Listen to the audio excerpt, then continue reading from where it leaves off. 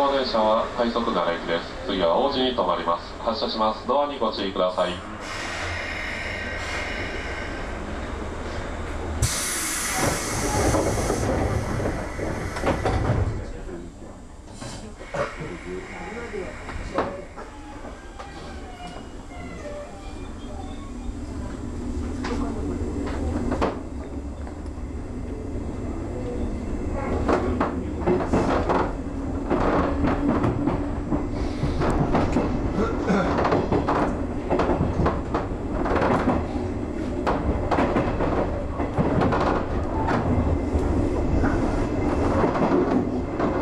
ご乗車ありがとうございます。